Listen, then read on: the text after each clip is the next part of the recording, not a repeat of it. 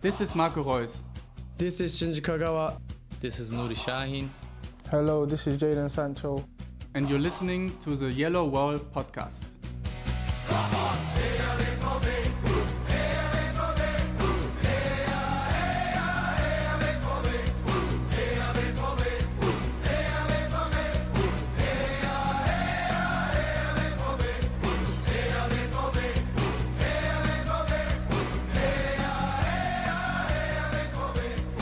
Hello and welcome to episode 463 of the Yellow Wall Pod. I'm your host Stefan Buczko and today we will talk about Borussia Dortmund winning 3-0 in Darmstadt to close out the Hinrunde. Jadon Sancho and Marco Reus linking up again. Ian Maatsen making his debut as a left back.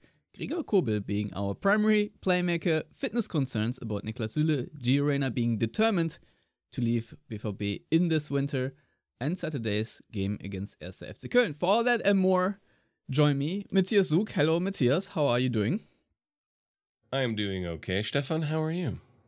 Not too bad, not too bad. Also here, Lars Pollmann. Hello, Lars. Good to have you back. How are you? Hello, Stefan. Thanks for having me again. Um, I'm looking out of my window and it's a regular winter wonderland. So, uh, me being inclined to, I guess, bad weather, some people would say, I'm quite content with this.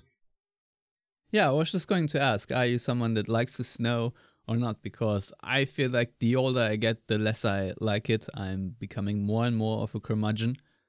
So I'm I'm glad you at least get some joy out of it because I uh, just had to clean the snow and ice off uh, our car and it was not fun. So the, the point is that we barely ever get snow here in the Rhineland. So every once in a couple of years or so, we have a couple of snow days, so they are quite enjoyable actually. Yeah, yeah. Uh, well, enjoy yourself, Matthias. Uh, you being in Colorado, I know uh, you have much more of this weird white stuff falling from the sky. Uh, in Philadelphia, it was also the first snow, I think, in two years, thanks to climate change. Uh, Matthias, uh, how do you like snow? oh, I I enjoy the Colorado snow. When I lived outside of Philadelphia, I hated it because the power always went out. Um, whereas here in 12 years, the power never goes out when it snows. And it's much nicer snow. It's the nice powder stuff. Well, that is good for you. Do you ski then? Is this a thing? I used to, um, but I decided I'd rather walk. So we're we're not skiing anymore. All right, I'm going to quit stalling now. Uh, we do have to talk about the three nothing win uh, in Darmstadt, which uh, had very enjoyable moments, but uh, also some uh, moments that do raise some eyebrows here and there. But uh, I think uh, why not start with the most positive one? Uh, at least for me personal, uh, Jadon Sancho and Marco Reus linking up again was a bit of a cleanser for my soul personally. I just thought in, in that particular moment everything was right with the world. Obviously, you have to wait and see if it was an offside or not. Um, but when Dortmund made it to nothing finally, and uh, yeah, you see old friends uh, link up again like this. Uh, it did warm my heart. Uh, Matthias, were you also emotional when uh, when that occurred? I don't tend to get that emotional anymore with the cynical world of professional football. However, that was really nice to see. It was joyous. You could see you could really see the joy on both of their faces. And obviously, the cameras focused a lot on Marco Reus in that second. And you could just see that was true joy beyond just the joy of scoring a goal. It was just joy. And uh, that was that was indeed very nice to see on a cold, windy night in Stoke, uh, Darmstadt. um, so that was that was great, and and then um, yeah, I mean we'll talk about the rest of the match, but uh, no, that was nice to see. Yeah, Lars, maybe uh, since you haven't been on in a couple of weeks, uh, how do you uh, see the uh, Sancho signing, uh, him returning, obviously, uh, in the uh, videos that Borussia Dortmund posted, uh, you could see him being also very focused on uh, Marco Reus in the beginning, uh, asking where he's sitting in the locker room, etc., etc. Since I guess this is the uh, closest friend he had while being at Dortmund, or that is still here, at at least. Um, but overall, what do you what do you make of this impromptu signing? well, I don't know how much of an impromptu signing it actually was because I think um, we've all heard rumors and rumblings about Sancho's returning uh, quite a few months in advance. I think there was already a bit of a topic in the summer. Um, obviously, that didn't come off because I suppose they were more happy with their squad planning than they are right now after the first half of the season. Uh, correctly so, because quite obviously they've um, been playing disappointingly in two out of the three competitions, which isn't good enough. I tend to think, regardless of whether or not he stays in the summer, and obviously it seems reasonably unlikely just because of the financial um, terms that are going to be asked uh, of Dortmund, both in terms of uh, a signing fee and wages and um, a transfer fee, not a signing fee. Um, regardless of that, I think it's a very good idea to add a player you know very well, you know works in the league, knows and you know works at your club for what is uh, a fairly low financial outlay. I think in terms of the the risk reward kind of uh, thinking, I struggle to find whom else Dortmund could have signed for these uh, five months, as it were, uh, who could have a higher impact um, on on their second half of the season for what they are paying him. Because uh, today it's been reported by Sportbild that they are covering a third of his wages for the rest of the season. Uh, Man United also covering a third, and him foregoing uh, two and a half million euros for this for the rest of the season.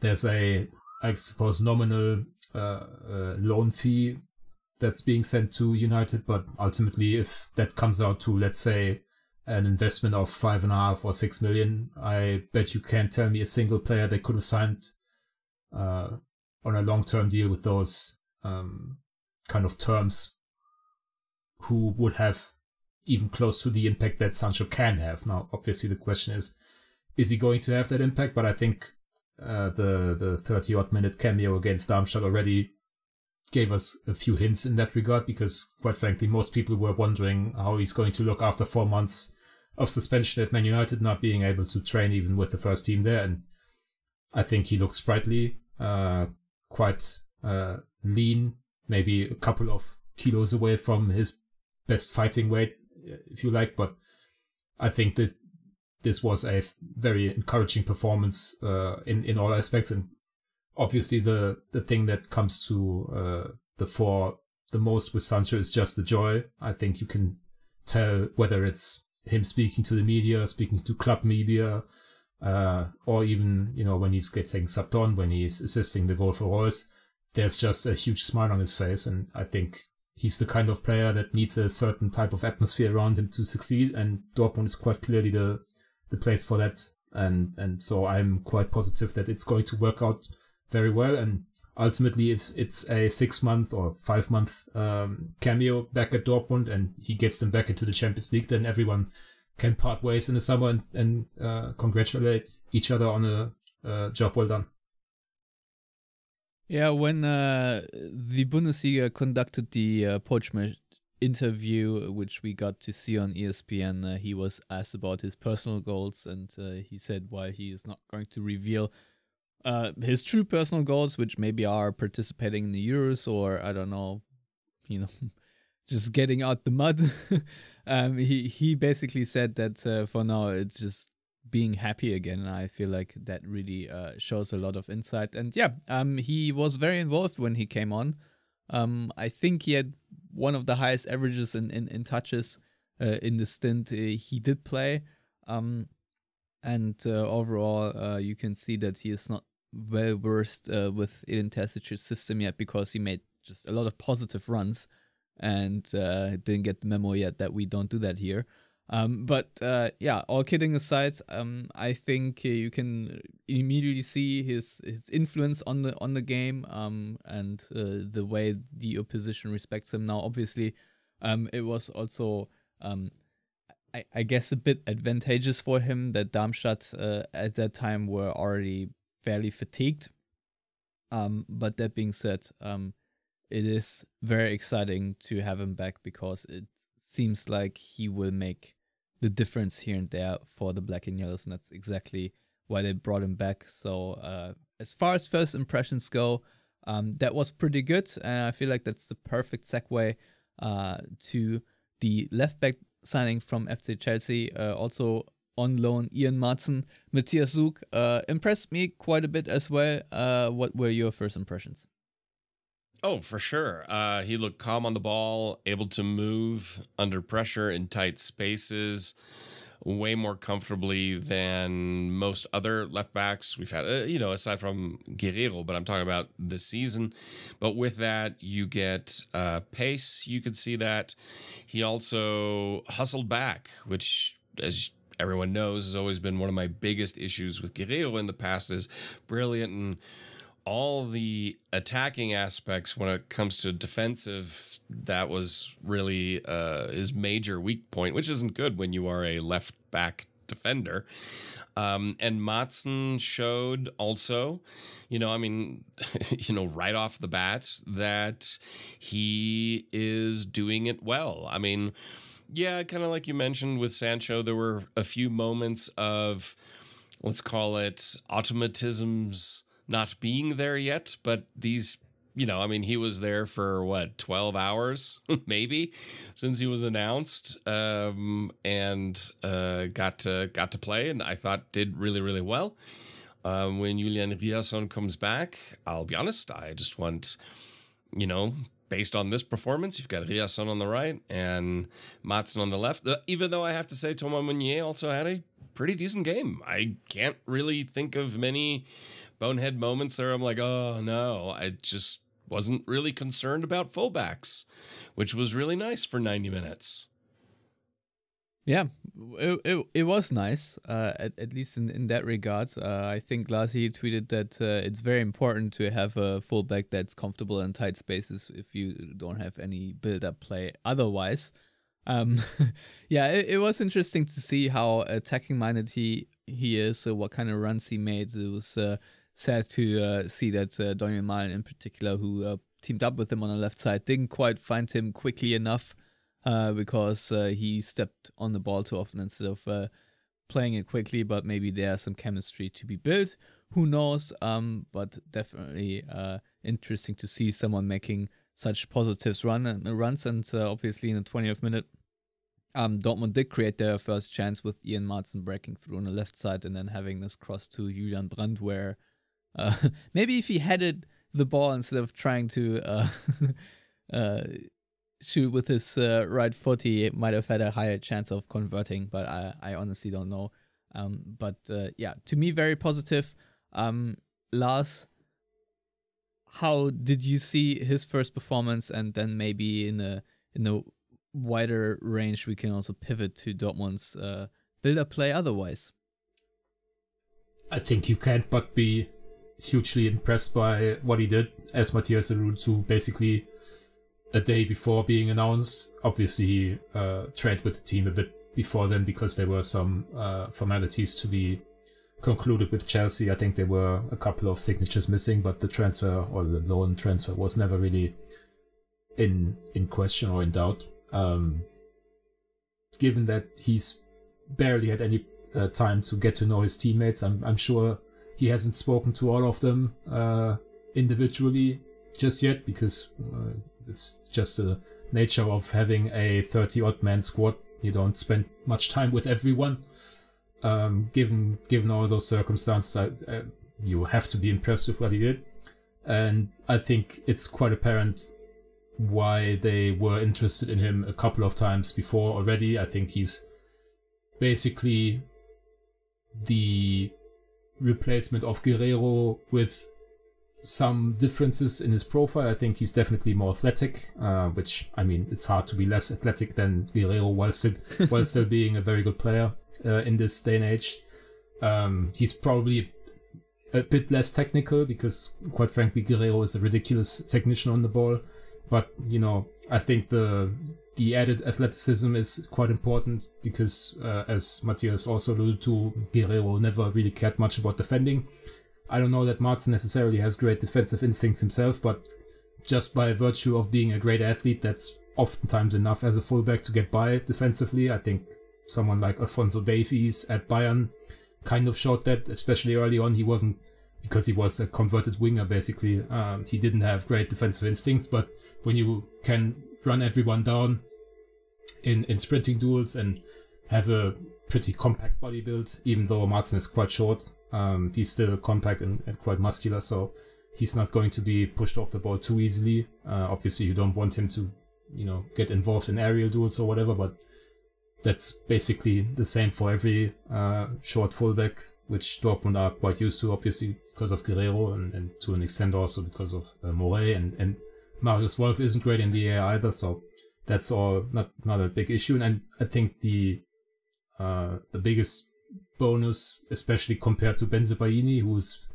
often involved in build up, um, but it's just not one of his strong suits, uh, is um, the the forward mindedness of Maatsen. Uh, his first touch is always um, judged to go forward. Uh, he's always thinking about moving forward. You can tell that he's played extensively on the wing for uh, Burnley, for example, where he was quite instrumental in their promotion uh, to the Premier League, uh, playing oftentimes in a more advanced role. Um, and quite frankly, as you alluded to, us uh, moving into discussion of their build-up issues, having someone who's always open and willing to receive a ball and progress the ball it's not something Dortmund have an abundance of, uh, given who's usually playing in central midfield.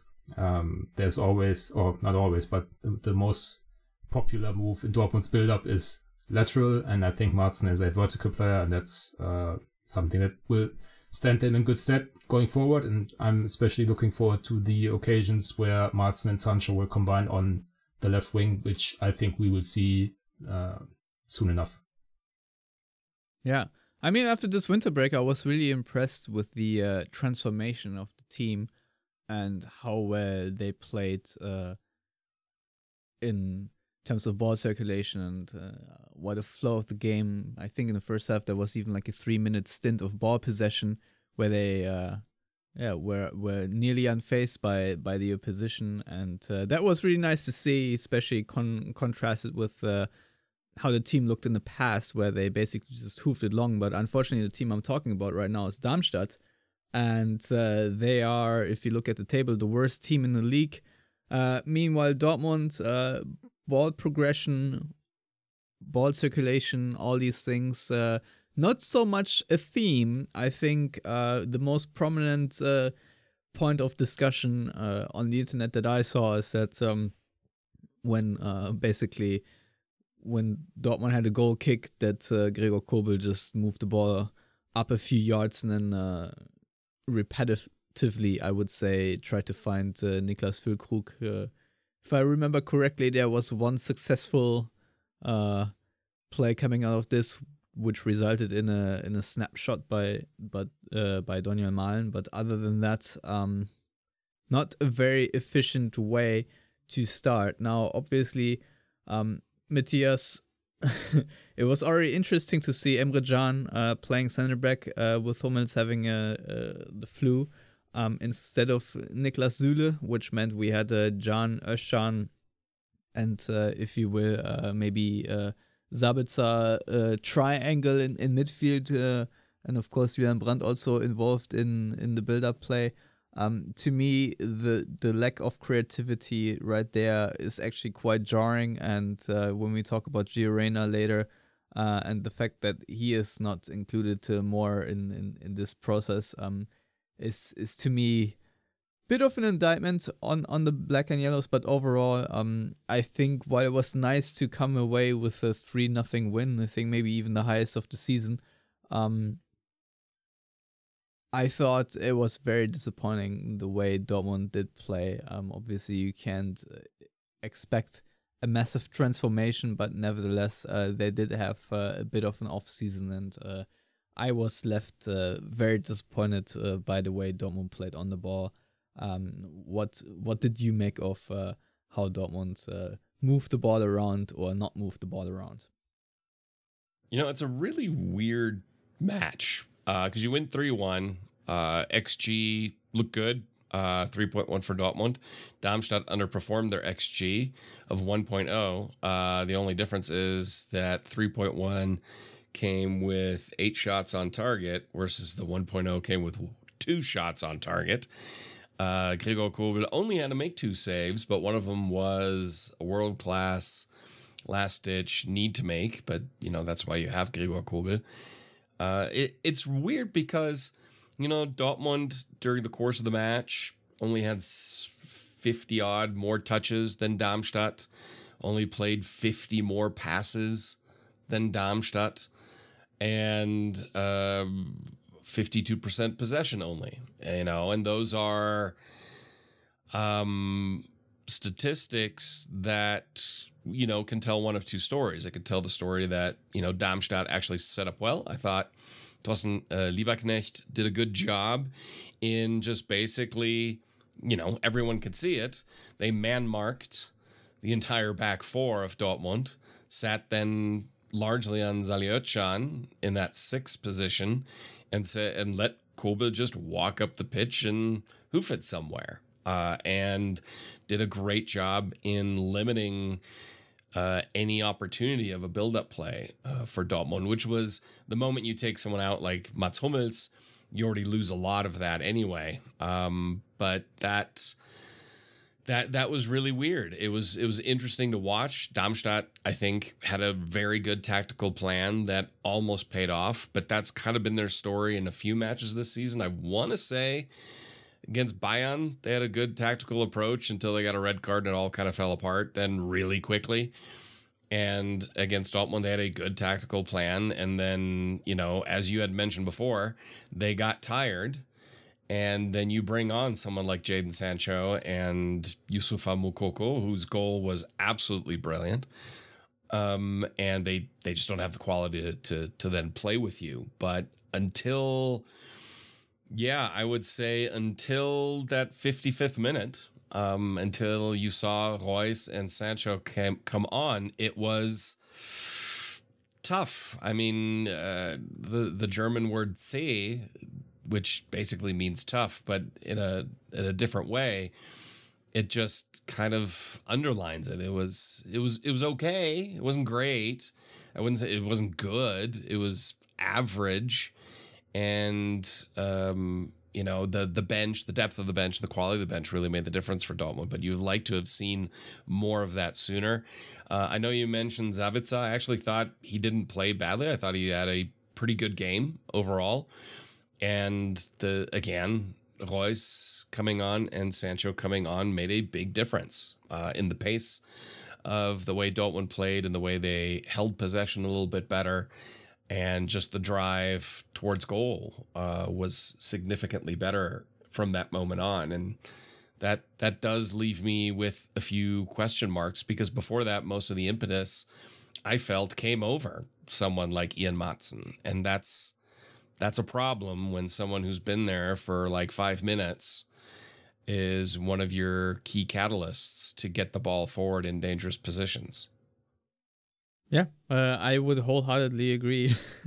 it's uh, it's not great. Obviously, uh, you you talk about the individual class, and I mean, if we look at the first goal that Dortmund did score, uh, Jamie Bynoe-Gittens on a counter attack does two to three defenders, however you want to call it, and uh, yeah, great pass by him to Julian Brandt and a nice run by by Malen to draw a defender away from from Brandt. So he had this one-on-one matchup, and then uh, I think didn't hit it perfectly um, the way he wanted, but just still well enough for the ball then to to beat the goalkeeper and, and roll into the net.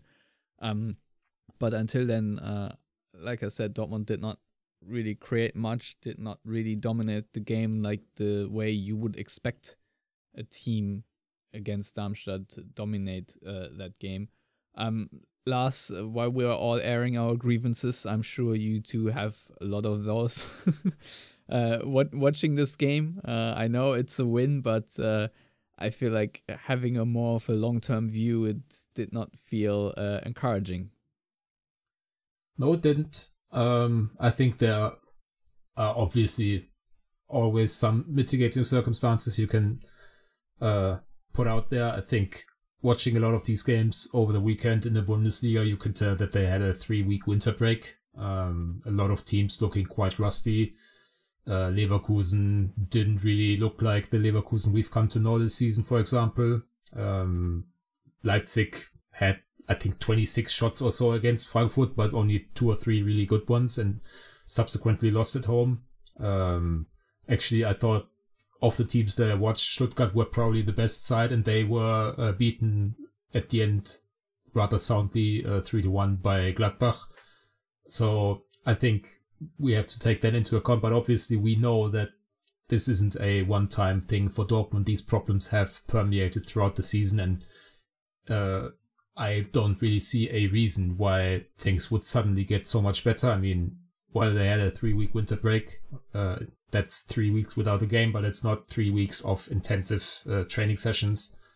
Um, ultimately, I think the only real sessions that, that count were probably held in uh, Malaga or uh, Marbella rather in the in the summer training camp, and uh, I think those were like six or seven uh, units of practice. So I think it, it's quite stupid to expect things to miraculously change because you signed Nuri Sahin and Sven Bender as new assistant coaches. Um, obviously, they ought to have an impact eventually, but uh, that that stuff takes time. So they haven't changed materially the players that are responsible for the build up, which I think we can safely assume now is the, the biggest issue because once they're in the final third, they have so much quality that enough goals will come, even though they don't really uh, trounce opponents this season. But you know that's that that was the case as well last year, and then in the second half of the season they turned it up and, and scored a lot of goals. So that might still happen as well this season, but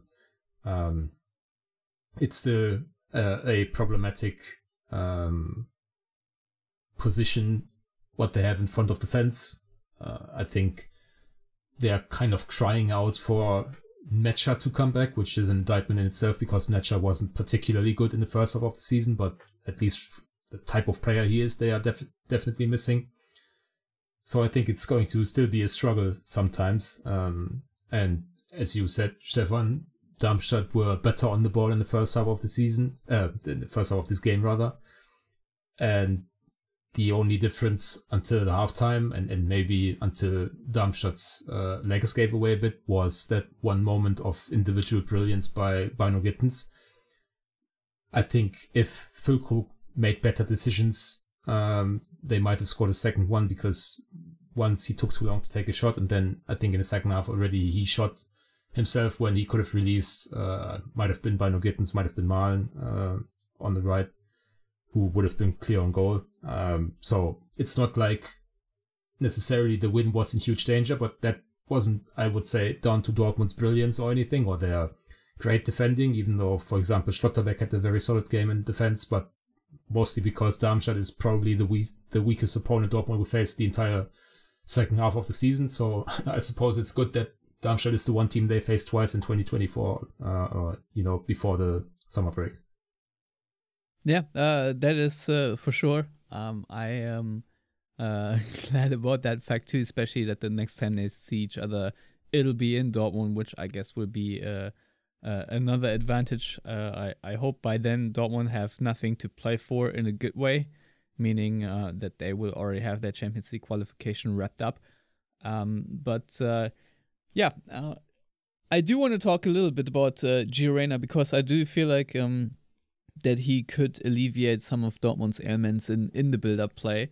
Um, but uh, for that to happen, the fittest ever Gio Reyna, at least according to Edin Terzic and uh, the uh, fitness values uh, that were shown in the uh, during the fitness tests. Um, yeah, he needs to play obviously, uh, but right now he is uh, not really playing. Uh, he had a very late cameo and uh, yeah, uh, got a yellow card for kicking the ball away when he was when it was already out of play uh, in frustration, and I feel like that frustration is also materializing its way to pushing for a transfer away from Dortmund to uh, reignite his career. And who can blame him, considering that's the way uh, he is being utilized uh, in Dortmund right now, which is not really at all. And uh, so, yeah, if the reports are true and Dortmund let him go for 15 million, I'd be rather miffed because uh, that is a lot of uh, money wasted in my view. Gio Reyna, um,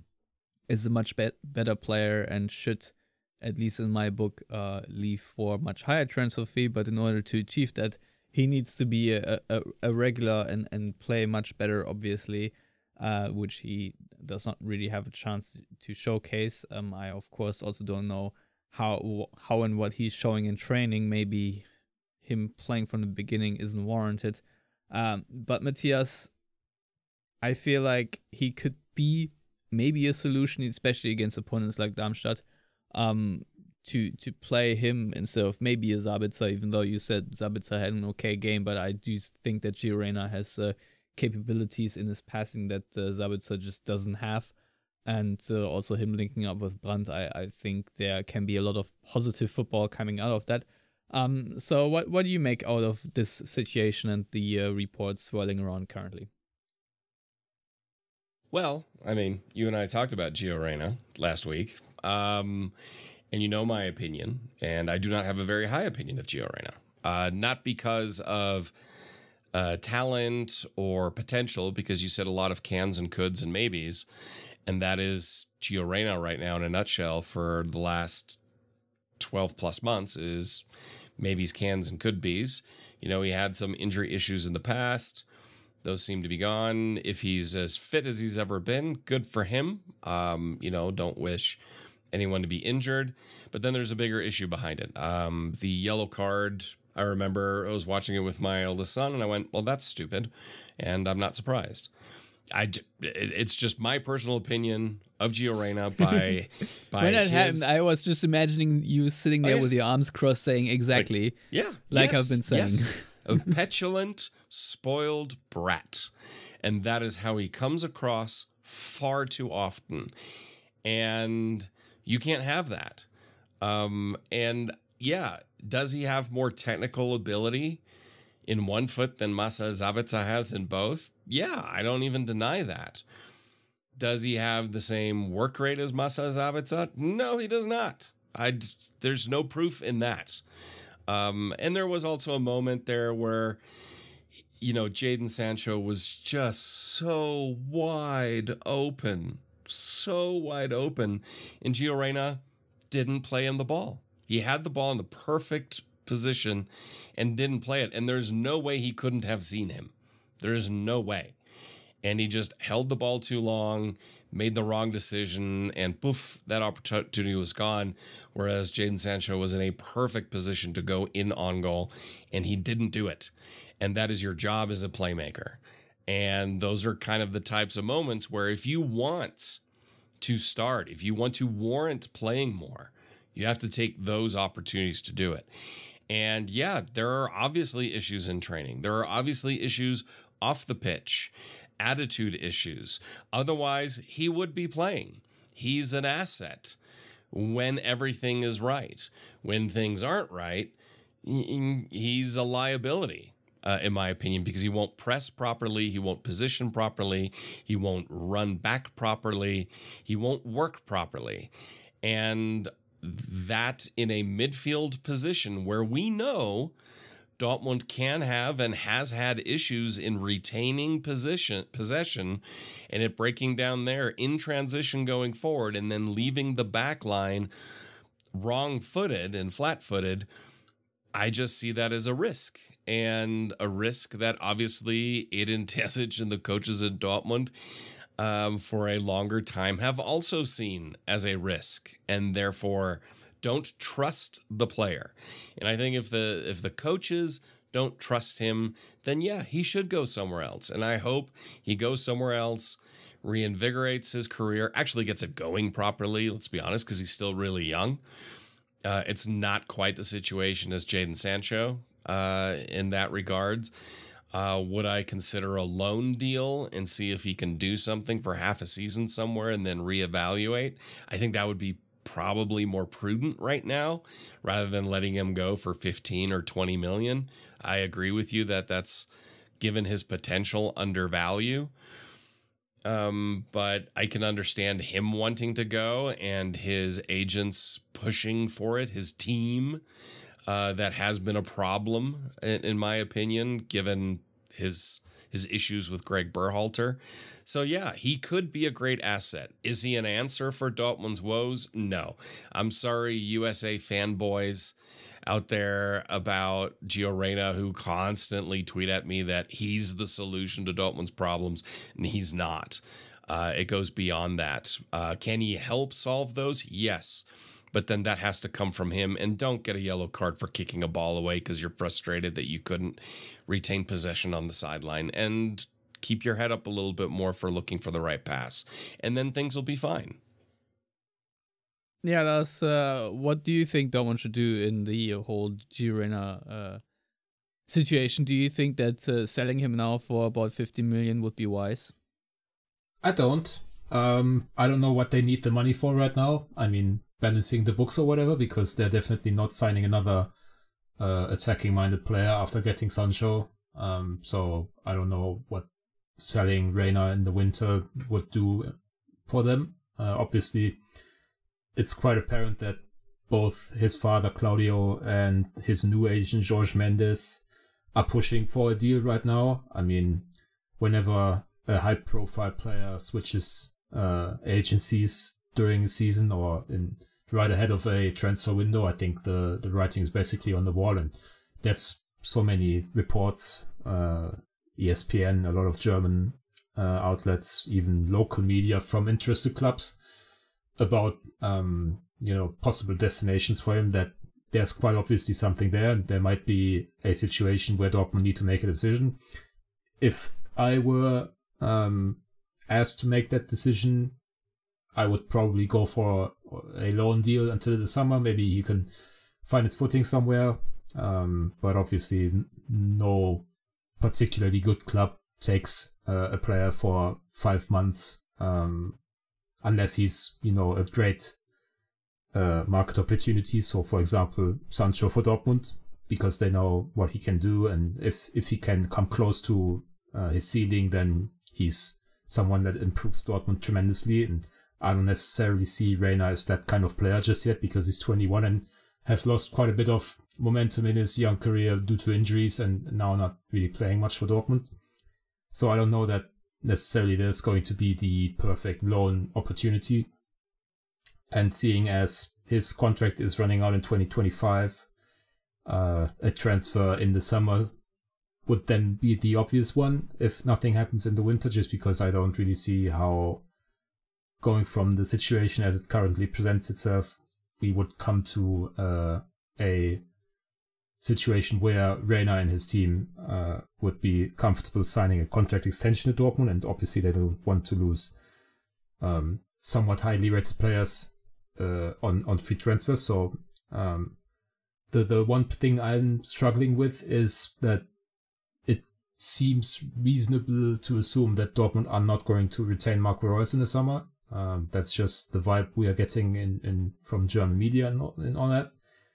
And then obviously the one of the problems that Reyna has right now, uh, you know, that both Brandt and Reus are in front of him in the pecking order and he has to be shipped out to the wing and, and, and all that stuff, that kind of goes away. And if you've sold Reyna in the winter for, I agree, a below his genuine market evaluation. Um, and then Reus leaves in the summer and you have to sign a new central attacking midfielder. Um, why did you let go of someone who's clearly talented, who I think is a better footballer than Christian Pulisic, for example, who went to Chelsea for 64 million? Um, at least in theory, I think he's better. So that's that's the the thing I'm struggling with to to reconcile uh, the the prospect of Reus leaving or maybe ending his career, uh, and then not having Reyna, uh, you know, to, to step in, I think that would be the opposite of, of good squad planning. But quite frankly, Dortmund have quite might, uh, have made quite a few uh, decisions that turn out to be head scratches, and and some of them even from the start. So I wouldn't necessarily be surprised if they caved in to the demands of the player side, which again quite clearly point to um, him leaving in the next two weeks, I think, because the transfer window in most big European leagues closes on uh, February the 1st. Yeah, I'll be honest. I don't think that selling Gio Reyna right now, uh, you know, pretty much as low as it gets, uh, helps Dortmund in any case. Uh, I do remember Sebastian Kehl um, saying or indicating to the media um, that uh, sort of Gio Reyna is being viewed as a successor to Marco Reus eventually. Um, but obviously, uh, none of us know the exact timeline for that. But uh, that being said, um, yeah, I I do hope that uh, there's a way for him to uh, make himself more valuable for Dortmund to at least sell him in the summer. Um, because uh, I assume the way uh, injury luck goes in Dortmund, that there might be a chance for him to play more here and there. Um, but obviously, uh, not what I want right now for him to play uh, this way. I feel like he could also uh, play himself into the squad more on on merit. But as Matthias said, that needs to come from him. Um, but uh, yeah, it's it's also interesting um, to to read the reports that uh, uh, Dortmund are maybe not going to extend Marco Reus's contract, and then he, I think I think someone uh, I read something of him going to Gladbach then. Uh, or something like that, and uh, Dortmund fans uh, getting very frustrated and upset that uh, of the idea of Marco Reus not ending his career uh, with Borussia Dortmund, uh, not because uh, uh, uh, is going elsewhere, but rather Dortmund not extending him. But um, yeah, I had this discussion yesterday with my wife, um, and I do feel like maybe from a financial standpoint, it does make sense for Dortmund not to extend him because he does earn a lot of money and his output isn't quite as where it used to be. But that all being said, he is uh, not drawing absolutely ridiculous wages, and uh, I still think he he is good enough. So I personally, I think I would extend with Marco Reus for another year, um, as as I would do with Mats Hummels, obviously. Um, so there's that. but in the meantime, um, let's talk about another defender. Niklas Süle has uh, been also in the headlines uh, for not being uh, fit enough, uh, according to the coaching staff. Um, Matthias, Niklas Süle, uh, obviously, as a very big guy, is uh, someone who has to often battle with conditioning and whatnot. if you, I don't know if you watch NBA, but you know, tall players often have issues with conditioning uh, much more than than uh, smaller players, just because of the way uh, it it works. Um, Niklas Süle, uh, of course, has a um, reputation for that. Um, do you think um, not playing him until the very end of the game uh, did send the right message to him, and Dortmund fans can expect that he will be in better shape soon enough? And do you think this is a big issue for the Black and Yellows, or is this just uh, something where media makes more out of it than it really is? Man, I've got a lot of yeses and a couple of nos in there. Um, yes, it's the right message um, because yeah, they they needed some uh, defensive cover in that moment. He's obviously your best choice in that moment. But starting Emre Can over him, who is undoubtedly fit. I mean, we can all have our criticisms criticism of Emre Can. Fitness, pace, and work rate are not his his weaknesses by far. Um, and Süle, yeah, he's a big frame dude, and uh, that comes with those issues. Uh, you you could kind of see it. He's a he's a bigger kid, um, and so kid. I mean, he's not even that young anymore. I guess he is for. I guess he is for me. Um, but whether or not the message goes through to him, it seems it is. Will that make a difference? I don't know. I'm not Niklas Süle. That's that's a question only he can answer. Do I think the media is making more out of this than it is? Yeah. But you know, that's I, I hate to say it, that's the media's job to a degree. You know, to find these little things and ask questions and then pose headlines that are, you know, maybe not not quite as big as they'd they'd like to make it out to be. Um, it, it's a fitness thing. get your fitness in order, and you know Niklas Süle will then be playing because he's a very good central defender. Um, but if there's a fitness concern, especially if you're worried about counterattacks and things like that, you know, then Emre is your better choice athletically, uh, as well as uh, Schlotterbeck athletically. And that is an area that Süle then has to work on, who is surprisingly quick. I mean, he's played plenty of matches at right back and done surprisingly well. Uh, but you, you need to work on it a little bit more when you're a little bit bigger. Yeah, uh, that's for sure. I mean, I had to chuckle when uh, said why uh, Emre Can was picked over Niklas Süle. That uh, one of the aspects why Emre Can got the nod was uh, pace, because I do think that uh, Niklas Süle is actually faster than Emre Can. But uh, you know, that just uh, it's deceptive. That's the thing with with Can. You can see him running really fast. With Süle, every time he plays right back, I'm always surprised at the pace, probably because you're looking at a different frame. Yeah. Well, um, Lars, what can we expect uh, now from Dortmund uh, this weekend in Cologne? Uh, we have played uh, the bottom team, now the second to last team in Erste FC Köln, who are going to a world of struggles, uh, have somehow managed to get themselves a transfer ban. Um, I don't know if you want to elaborate on that whole story um, or not, um, but uh, they have also changed coaches. Uh, a lot of turmoil at Erste FC Köln. Um, also, not really playing any good football. Uh, if I remember correctly, Dortmund beat them 1 0 early in the season. Obviously, since it was the first game and uh, were really riding their luck to get uh, even three points out of that game.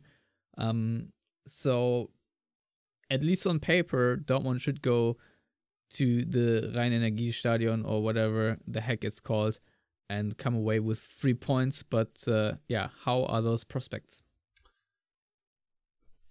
Maybe talk about the the transfer ban ban uh, just for you know a second because it's it's quite a dumb story in a way uh, because uh, the transfer ban has been uh, instituted because they signed a 16 year old kid from Slovenia who uh, I think was with them during the winter break, but hasn't featured obviously for the first team just yet. Um, the, the the punishment came because for you know the the regulatory boards and all that stuff, um, it was proven beyond reasonable doubt that they made the kid break his contract uh, at his uh, home club.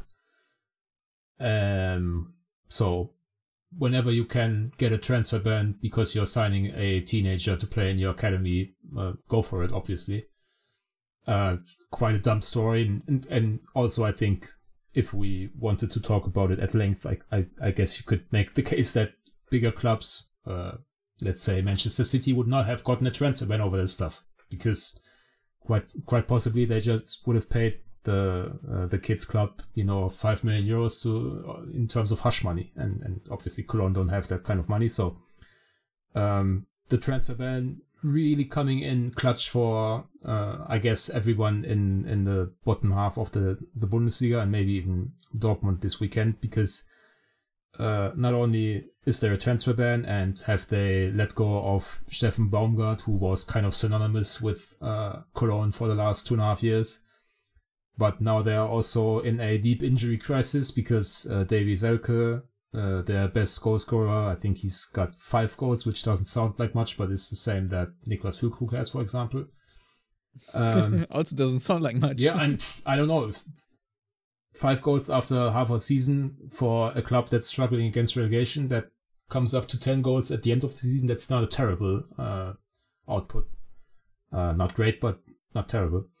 Um, but he's injured for a few weeks. Uh, Luca Waldschmidt is injured. Mark Uth is injured. So the three best, um, if if we can say that, or you know the potentially best or the the three most important, or however you want to call it, uh, attacking players. Thus, you you're meaning to tell me that Steffen Tigges is not their main source for, for goal scoring? No, he's not. Obviously, that might change against Dortmund because uh, I seem to recall that he did quite well whenever he's played against uh, his former club. Uh, at least he did last season. I don't know if he even played in, in both meetings. He, I think he missed the first game of this season because of injury. But um, I mean, Cologne is the, the local club where I live because uh, here in the Rhineland, uh, there's Cologne, there's Gladbach, there's Leverkusen, but Cologne is really the, the local and, and the biggest club, obviously, of those three, historically speaking. And you could, the, the last few weeks, it's it's felt like the sky is falling for a lot of people because of the transfer ban, because of uh, Baumgart leaving. Uh, his replacement, Timo Schulz, for a lot of people, not the most inspired choice. Uh, he's new to the Bundesliga after uh, failing to get promoted with St. Pauli. He was then sacked because of lack of development uh, at the second division club, which isn't a great sign, I suppose. And then he went to FC Basel, uh, and he's part of the reason why Basel are struggling against relegation in, in Switzerland after being uh, regular champions a few years ago.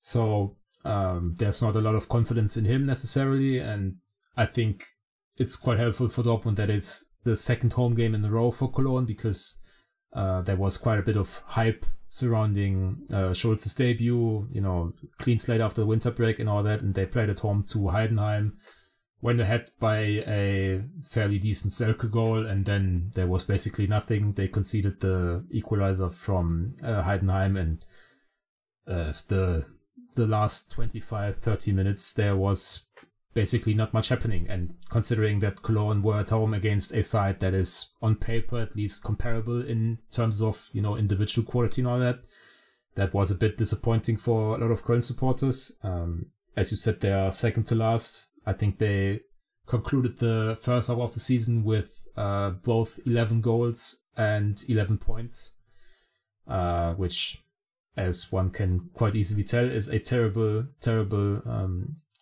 result for half a season. And because of all the things we've mentioned, there's not much hope that things are going to get much better over the next uh, five months. Um, right now, and I think ahead of the season, when we did our predictions, I think we mentioned Cologne as a possible surprise relegation candidate, and I think right now the the only thing that we have to strike from that is the surprising part because Cologne look definitely like one of the two or three worst sides in the Bundesliga, and um, I. Yeah, you have them in tenth. Uh, myself and Matthias both have Cologne in twelve. Yeah, but I said like from tenth to seventeenth or whatever, I could see anything. So that's yeah. true. Uh, so long to make uh, a long answer. But I also picked Dortmund first with my internal wisdom. yeah, that was okay. okay. That was just that was just dumb. Um, just to to actually answer your final question, uh, what can we expect from. Dortmund? I mean, if they don't uh, come away with three points here, then they are in deep trouble. That is correct. that is very much correct. So, Matthias, uh, obviously, uh, the game in Darmstadt was successful result wise, but footballing wise, uh, not so great. Do you think there are any things that Dortmund can ch- change to the lineup um, to make improvements, or do you think the lineup that started against Darmstadt uh, warrants another start? And uh, you would hope that they build more chemistry, automatisms, all this nonsense uh, as they progress in that game. Well, I think uh, one is if Mats Hummels is fit, he'll probably start. Uh, you would hope so because that always helps Dortmund, especially in build-up. Would that mean Um, Emre Can as number six then instead of Probably. I I would I would assume uh, you'd move Can uh, into that position, and then if you're gonna play two ahead of a six, so two eights, yeah, you'd probably do a, a Sabitzer Brandt kind of thing, and on the wings, you know, I don't want to have a lot of options now. I think it's still too early for Sancho um, uh, at this point. Uh, Reus, I, you know, I personally believe you should start Marco Reus in that match. And then Always yeah, I mean- score against Cologne. he does. He does. And then I think Jamie Bynoe-Gittens, uh, I would start him ahead of Donny Malen right now, uh, just because I think this could be the right kind of match for him. And then at striker, um, you know, I think we we didn't uh, talk a lot about Youssoufa Moukoko, who, uh, funnily enough, he got subbed in and my son was like oh he's totally going to score and i'm like okay and then he did and uh, it wasn't quite Jay-Jay Okocha against uh, you know i think it was. Was that Bayern? Karlsruhe, that's right. It was Oliver Kahn, but it was Karlsruhe. Um, but there there were a couple of moments like I had some flashbacks there to my youth, and I'm like, whoa. And that was a really nice goal. And Youssoufa Moukoko did more in the few minutes he was on there than, in my opinion, Füllkrug did for most of the match. Uh, Füllkrug's been a little flat. Um, I, he'll probably start because Terzic will start him. I honestly would love to see what Moukoko could do with more time um, because I think that showed what he's capable of. And maybe you attack uh, uh, with a little bit more more pace than than uh, with with Füllkrug up top. But odds are, you're probably the the main change you'll probably see is uh, Hummels coming in and then uh, Salih Özcan going out would be my expectation because Terzic isn't really one to make any major changes or revolutionary thought processes. Not that anything I said was major or revolutionary. yeah, I saw a lot of uh, demands after that uh, Moukoko goal for him to start from the beginning. Um, I think uh, the the two largest pro arguments of Moukoko is a that uh, I think Niklas Füllkrug um has a ceiling and Dortmund are not going to profit off him in any sort of way.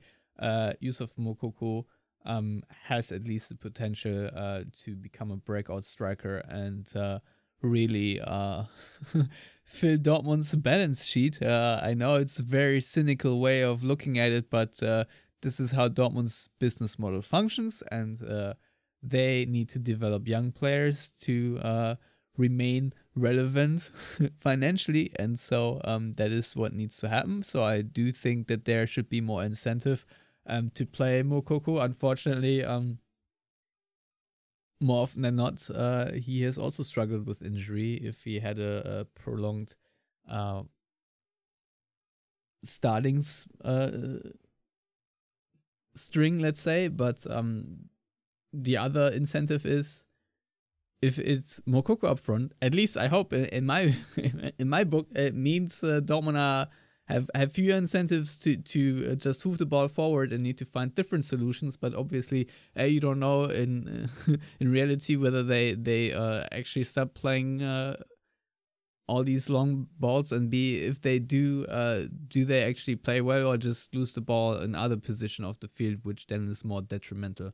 So I don't know, but um, yeah, I'm actually kind of with you, Matthias. I too would play Moukoko just because I do feel like um, it's okay to mix things up. But that being said, um, Edin Terzic's approach uh, is to have a strong hold up striker up front and uh, then uh, play on from there. And uh, I mean, with Sebastien Haller, it obviously works much better than uh, with Niklas Füllkrug, but at least Füllkrug is. Uh, is doing a, a, decent job overall, I would say, and he has had some good moments and nice touches, flick-ons, etc. So it's not like he's completely useless in that regard. But uh, yeah, uh, if you have a youthful, exuberant uh, attacking line, that's uh, on paper just more exciting, um, but uh, can of course go wrong. Lars, your thoughts on on that starting lineup and and the the tweaks we just discussed would you play Moukoko right now instead of Füllkrug, or uh, do you think this is uh, we are all uh, maybe not thinking straight after Moukoko got to pick apart a Darmstadt team that uh, was super fatigued? I mean, I don't know that Darmstadt were dead on, on their legs or whatever. I think we are kind of exaggerating a little bit when we talk about their. I feel like they were. Yeah, but not. But, At least that, that was my but, impression. But not in every single individual moment. I mean, it's it's not like uh, someone uh, turned the dials on is it EAFC 24 all the way to zero for for Darmstadt, and they they couldn't run anymore. So I don't know. Um, I No, that's exactly what happened. I think I'm a bit surprised at how critical a lot of people are of Füllkrug. Um, I think when you sign perhaps the uh, leading goal scorer of last season, even if it's only been 16 goals, and I think five of those from the penalty spot, um, and also you know the the starting striker from the German national team, maybe the expectations are a bit higher, but to be honest, um, I think he does enough things well uh, that I would keep him in the starting lineup, um, especially considering how much time we spent talking about the build-up issues. I can understand your thought process, uh, Stefan, in saying if you don't have a, a hold-up striker, you have to play out from the back and all that, but we just don't know that they are good enough at that. So I'd, I'd rather stick I feel like we do know that they're not, but I'd, I'd rather stick with what I think Füllkrug does best in the Dortmund shirt so far, which is play with the back to the goal, stick out your butt, um, hold up play, maybe uh, you know those those uh, clutch moments, as we say, not clutch in as in C L U T C H, but uh, K L A T S C H which uh, is like clap. So when when a striker gets the ball and he immediately releases with one touch, that's clutch in German football lingo, and that that's something he does quite well. He has those flicks with uh, you know the the back heel and all that. So I think he the, the five goals we already talked about. That's not a great uh, you know turnout for the starting striker of a team like Borussia Dortmund,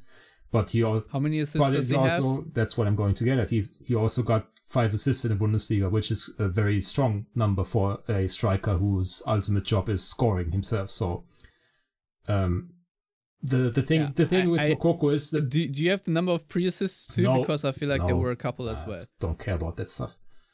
Um, I do. yeah, then you can look it up while I keep talking about why I don't think I can. Why I wouldn't I'm start. Moukoko. Um, I think whenever he's gotten a chance to start, obviously it hasn't been the case much uh, of late, but it, it kind of felt to me like he was forcing things a bit because he knew that it was a fairly rare chance.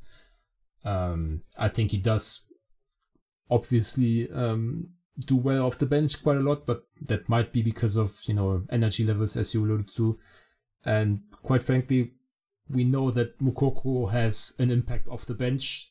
Um, I don't know that we can say the same thing about Füllkrug just from his you know striking profile. He doesn't strike me, as it were, as the top joker to use another German football lingo terminology. I think Füllkrug off the bench that doesn't ring a bell for me, so I would keep uh, starting Füllkrug and just hope that you know maybe uh, he needs the, the kind of game which they might have uh, might they might have against Cologne, where a lot of things work in their way and he scores a double and things get easier because quite the, the the biggest problem right now to me isn't you know a lack of general quality or whatever. I think just the decision making uh, for Füllkrug has been off and has been off for weeks. Uh, quite a lot of times he's going for you know a hopeful shot from distance when he could have released a, a, a colleague uh, you know with a through ball or whatever. And also he's been kind of unlucky because a lot of times when, for example, Bynoe-Gittens or Malen break through, they have eyes for the goal and he's, you know, sitting there waiting for a cutback pass, which would give him a great opportunity. So once again, to make things a bit more concise, start Füllkrug, bring Moukoko off the bench, and obviously Haller not in the picture because of uh, AFCON. Yes.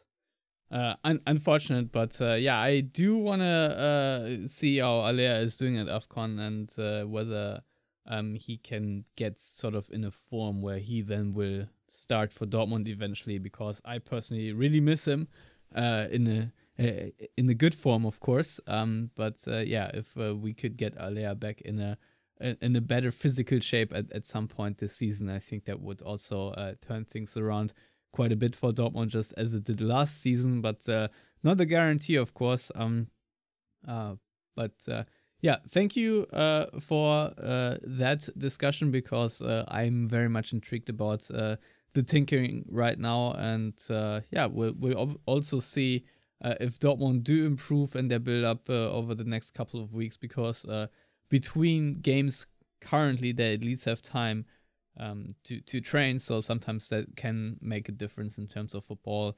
development. I obviously don't know if uh, Nuri Can and uh, Sven Bender in that regard do have an impact. If we can expect a different course, different development, uh, we'll see. Season is still very long, uh, still a lot of games to go, and uh, yeah, one way or another, uh, Cologne have to be beaten. Uh, Matthias, any final thoughts before we knock it on the head?